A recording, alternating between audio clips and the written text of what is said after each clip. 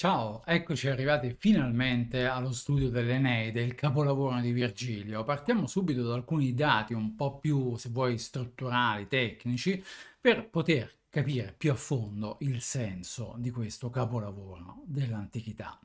Vediamo, eh, viene composta fra il 30 e il 19 a.C., quando ormai Virgilio è a pieno titolo all'interno del circo dei mecenate. Ti rimando ad altre video lezioni sull'approfondimento di questo circolo e sulle pressioni che il eh, grande ormai imperatore, chiamiamolo anche così, ma poi il termine è improprio, e sta esercitando su alcuni artisti, parlo di Virgilio, parliamo di Orazio, parliamo di Properzio e altri, per poter in qualche modo diffondere quello che è il suo progetto ideologico, politico, sociale, eccetera. Mm. E, ehm, vedremo proprio nel corso di queste video lezioni sull'Enede quanto vale questa pressione su Virgilio. Però il dato ormai è indubitabile, Virgilio è all'interno di questo circolo e di questo circolo e delle idee che si stanno eh, respirando, diciamo così, in questo circolo vive. Nelle bucoliche aveva dichiarato che eh, non vuole, non voleva cantare Reges et Prelium, ma quindi l'argomento epico per eccellenza, la guerra, non è contemplato nel suo orizzonte letterario. Nelle Georgiche aveva invece annunciato un poema celebrativo delle geste di Ottaviano, ma attenzione, è molto riduttivo eh, trasformare l'Eneide in un semplice poema celebrativo. Perché? Perché Virgilio resta un poeta neoterico. Cosa vuol dire neoterico? Qua ti rimanda alla poesia neoterica e alla video lezione che abbiamo dedicato introduttiva a Catullo. No? Eh, l'epos celebrativo non fa parte dell'orizzonte letterario di un poeta eh, neoterico eh, come anche invece al contrario fa parte del suo modus operandi in quanto letterato la brevitas. Per cui niente di più mh, antitetico, possiamo dire così, a quella che è la carta d'identità più autentica dell'identità appunto letteraria di Virgilio. Come risolve questo problema?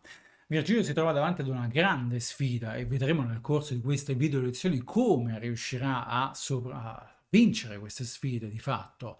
Perché? Perché eh, ripensa il genere epico. Ecco, il suo non è soltanto un pedissequo, così, copiare Omero, rifare Omero eh, alla luce di, dello stress che forse mi sta mettendo sulle spalle eh, eh, Ottaviano, ecco, rifare l'Ilia l'Odissea. Mm, no, non è questo, evidentemente eh, vuole ricostruire una, una, un'idea epica, un'idea epica, un'idea epica con quelli che sono gli ideali eh, dei romani, una specie di summa dei valori del Mos Maiorum che sì è vero, Ottaviano vuole restaurare, ma che certamente anche Virgilio condivide, soprattutto, ricordiamolo ancora per l'ennesima volta, dopo un secolo di guerre civili tanto più questo richiamo al Mos Maiorum, ma questo diventa tanto più urgente,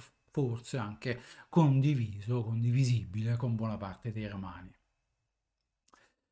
Come è composta, come è composta l'opera? Appunto è un poema epico e il respiro metrico tradizionale è l'esame pterodattilico. Ti rimando alla video lezione sul come si legge l'esame pterodattilico qualora tu voglia approfondire questo argomento in 12 libri. E anche questo è un dato interessante, il dato semplicemente numerico, perché parlavamo prima di brevitas. in che senso può essere breve un poema di 12 libri? Beh, certo, se il confronto è, eh, è assoluto, vabbè, no, effettivamente 12 libri sono un signor, mm, un signor libro. No? Tutti quanti noi abbiamo a casa una edizione del, dell'Eneide, no, un libricino, un agile volumetto non è e siamo d'accordo. Ma se noi lo confrontiamo, come inevitabilmente anche i contemporanei di Virgilio l'hanno fatto, lo confrontiamo con i capolavori di eh, Omero, cioè da una parte l'Iliade e dall'altra l'Odissea, Beh, il confronto sì che invece ci porta a pensare che il capolavoro di Virgilio è breve. Perché l'Iliade è composta da 24 libri, l'Odissea è composta da 24 libri, quindi per un totale di 48, e allora 12 libri dell'Eneide rispetto ai 48 dei capolavori di Omero, beh, sono brevi? Possiamo dire in un certo senso sì, Ecco, capiamo, cominciamo già a capire come appunto la reinterpretazione in chiave neoterica del genere epico viene operata da Virgilio già semplicemente da un così, così, essenziale dato numerico. La struttura, la struttura è abbastanza semplice, cioè la fuga di Enea dalla città natale Troia, che ormai è stata distrutta dai greci, l'aggancio inevitabile all'Iliade, e, e questo peregrinare di Enea attraverso i mari del Mediterraneo. Parliamo di Esadi, cioè gruppo di primi sei libri. La prima Esade ha un contenuto che possiamo definire chiaramente eh, odissiaco, ma eh, in qualche modo richiama le peregrinazioni di Ulisse successive alla conquista, ovviamente da parte, de, da parte di eh, Ulisse che è greco, la conquista di Troia. La seconda Esade, invece, che compone l'Eneide, parla delle vicende belliche fra i troiani e alcune popolazioni del Lazio. Qua è inutile entrare nel dettaglio, sul libro troverai qualsiasi riferimento eh, specifico al contenuto dei diversi libri ma capisci subito da solo che appunto se la prima Esate risponde ai contenuti dell'Odissea, la seconda Esate risponde ai contenuti dell'Iliade. Quindi anche in questo, attenzione, il modello viene ovviamente rispettato da parte di Virgilio, ma viene rovesciato. A livello cronologico, a livello proprio di narrazione, è evidente che l'Iliade precede l'Odissea.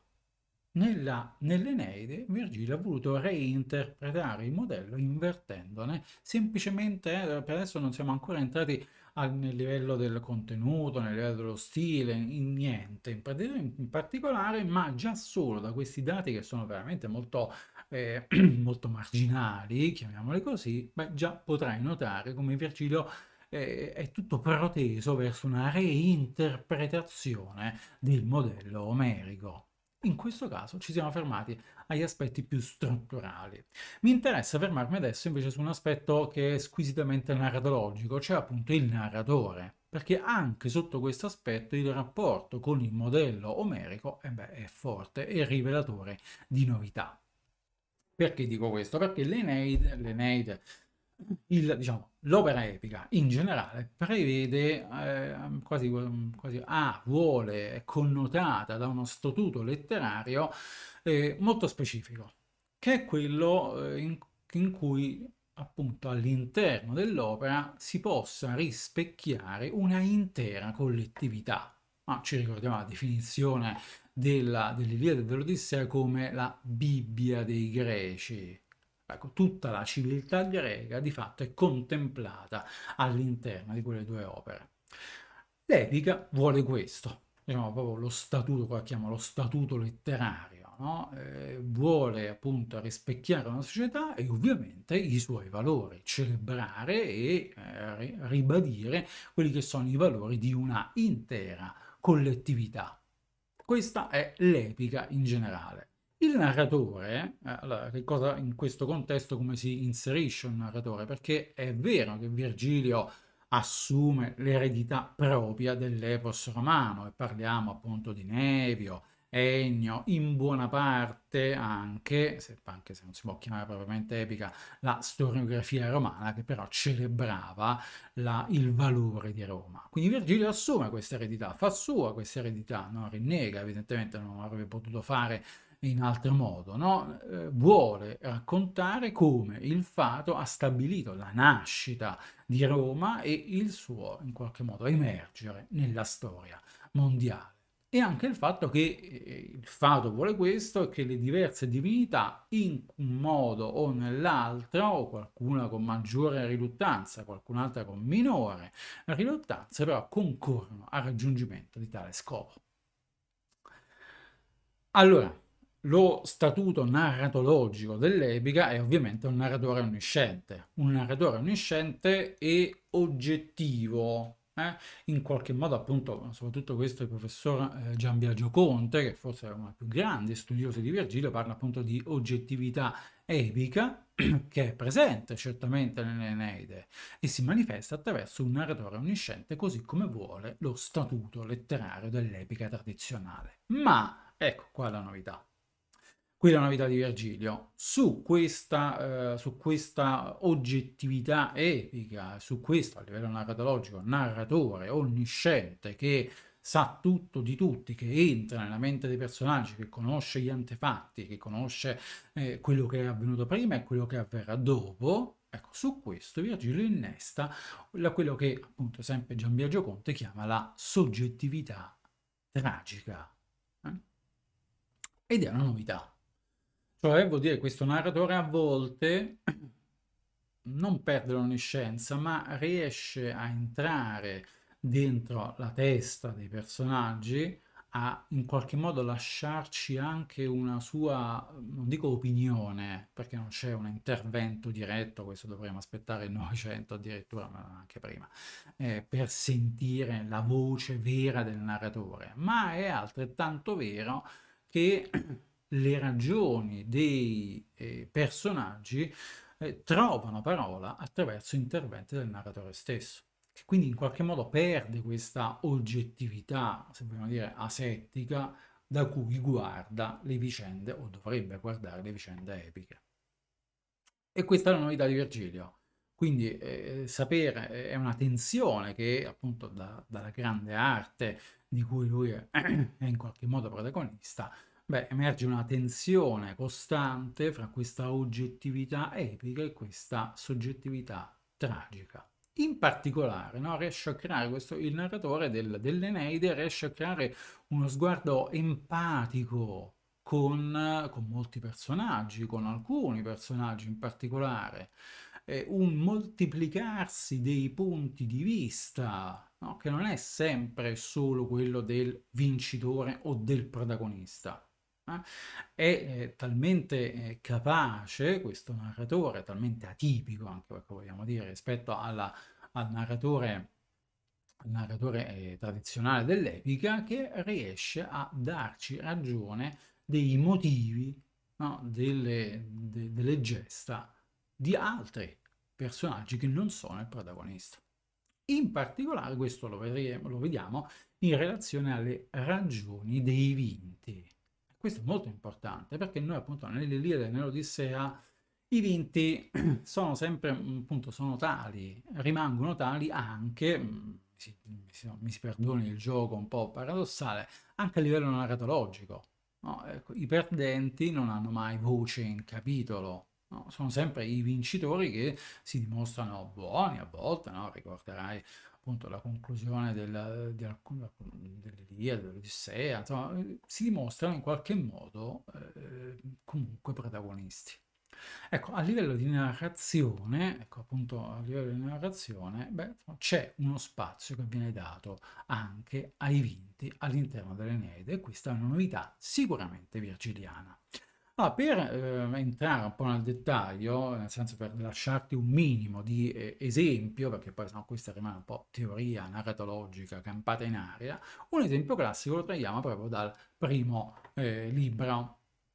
Ti ricorderai che l'opera comincia in medias res, no? con una tempesta iniziale scatenata dalla Saturnia, no, Giunone, eh, che ha disperso la flotta di Enea. No? Alcuni troiani giungono alla reggia di Didone, siamo appunto eh, vicini sulle coste de, di, di, Cartagine, sulle coste africane del, eh, di Cartagine, e alcuni dei troiani ehm, che si sono ritrovati in mezzo ai flutti no, che, eh, della tempesta che subito comunque Giove ha placato, e si ritrovano uh, insieme e si dirigono verso la reggia di Didone, no? appellandosi al sacro diritto degli ospiti.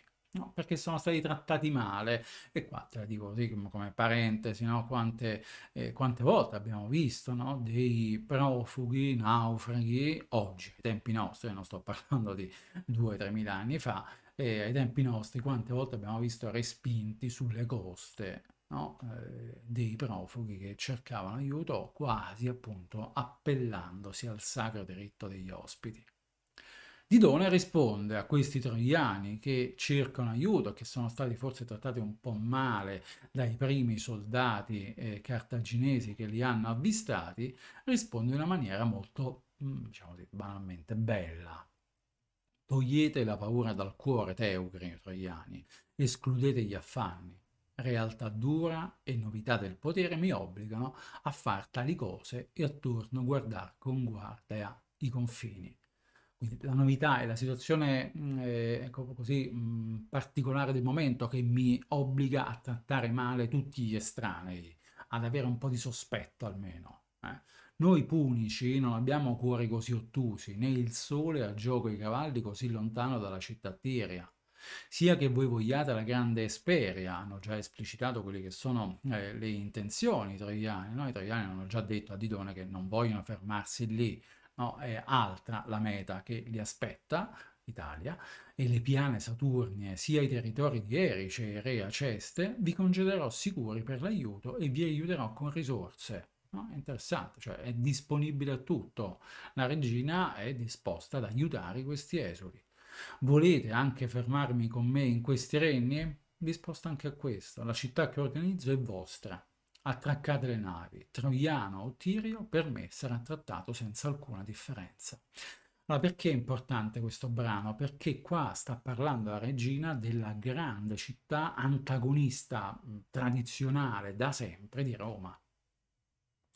Appunto l'epos tradizionale romano, a partire da Ennio, Enevio e la storiografia romana, aveva eh, insistito su una lontananza atavica fra Roma e Cartagine, quasi a giustificare le tre grandi guerre cartaginese fra III e II secolo a.C.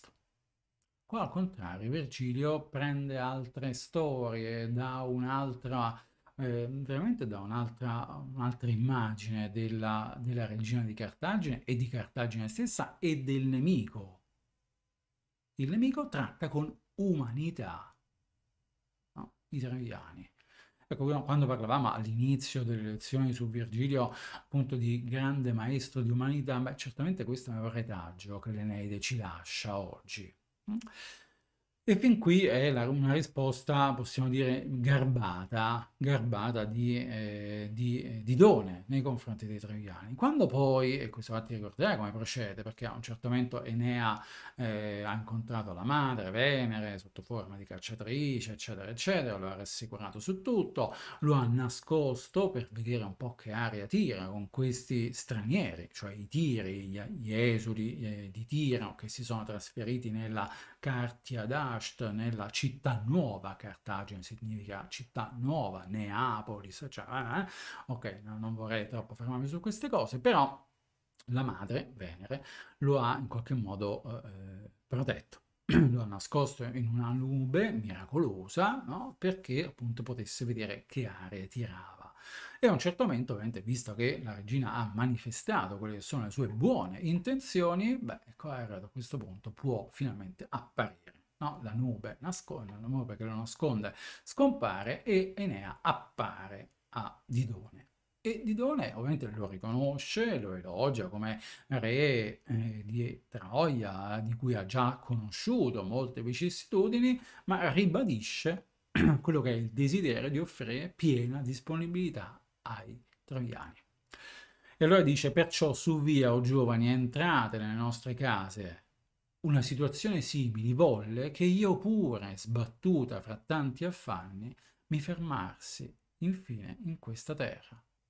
Non ignara del male, impara a soccorrere i miseri. Ah, sembra molto molto importante questa frase, perché ancora una volta, ripeto, il narratore entra dentro la testa di Didone, che è un antagonista in qualche modo di Enea, e il popolo cartaginese è sicuramente, storicamente, un antagonista del popolo romano, per farle dire però delle parole che sono ricche di umanità, no? che valgono per tutti, che devono valere per tutti gli uomini romani che stanno leggendo in questo momento l'Eneide e gli uomini, tutta, le, tutta l'umanità che leggerà quest'opera. mi fermo su due termini, similis, fortuna e disco.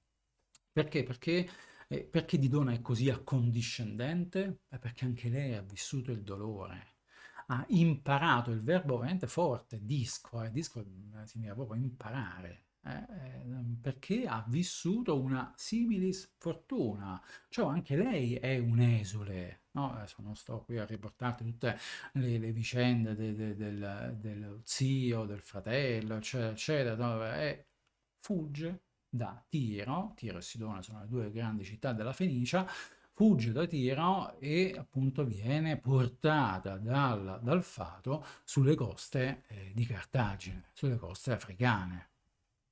Allora è questa comunanza, qua io lo chiamo vicinanza, ma insomma è questa comunanza di dolore che apre il cuore di Didone all'accoglienza, alla solidarietà. Hanno subito la stessa sorte e quindi è giusto aiutarli in questo momento in cui lei si trova in una situazione sicuramente di maggior agio. Eh.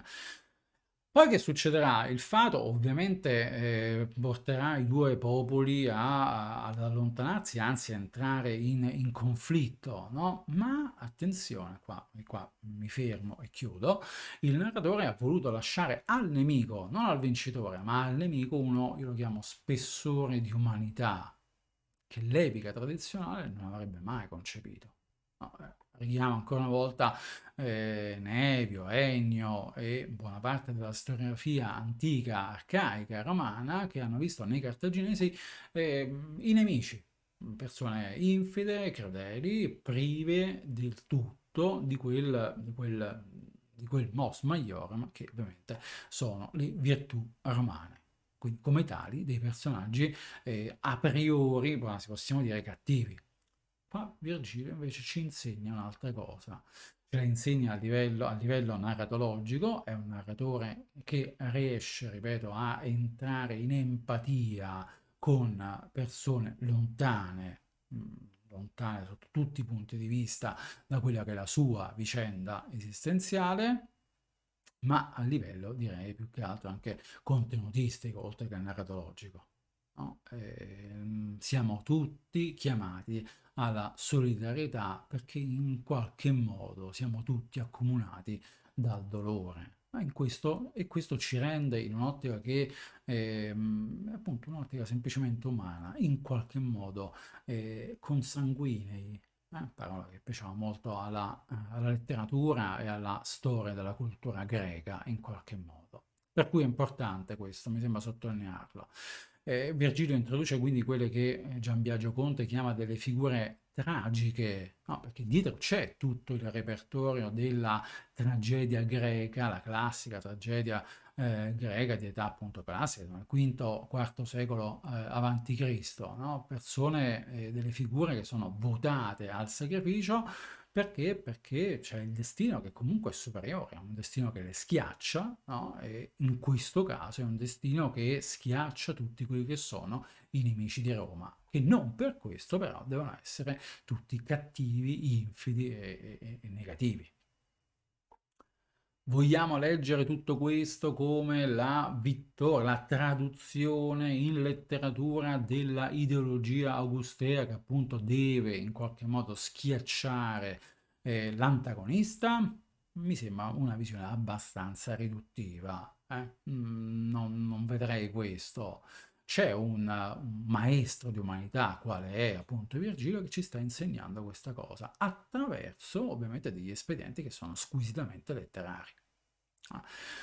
E in più, e in più aggiungiamo a quello accenno soltanto un altro problema grandissimo che sarà di tutte le Eneide, a cui dedicheremo altre video lezioni, beh, eh, c'è una riflessione ancora una volta eh, interessante portata avanti da un narratore, ripeto, che mh, proprio grazie alla molteplicità dei punti di vista ci permette di affrontare in maniera nuova forse il problema della verità, del giusto, del male, no, cioè, effettivamente alla luce di questo che abbiamo letto, eh, per quale eh, colpa Didone verrà punita? Perché Didone sappiamo che eh, nel, nel corso dell'opera risulterà ovviamente fra la schiera dei perdenti, no? ecco, viene, viene in qualche modo schiacciata dal fato, ma per colpa di cosa? Ecco, qua sotto questo aspetto Gianmio Conte imposta una relativizzazione della verità, no? parla esplicitamente di una verità, verità, che viene da Virgilio relativizzata, non esiste più la verità, mi sembra un pensiero più novecentesco che eh, dell'antica Roma. Eh, però è pur vero che ecco, la verità si presenta sotto diversi aspetti, con molte sfaccettature, e il ruolo importante, bello, nuovo del narratore è proprio di quello di farcene cogliere almeno qualcuna. E questa è una novità rispetto all'epica omerica, che non presenta invece una, una verità, una giustizia eh, così, eh, così appunto, eh, così polimorfa, così polimorfa, così appunto suscettibile di discussione anche semplicemente sotto questo aspetto. E questa è la grande novità che il narratore dell'Eneide porta con sé. Alla prossima.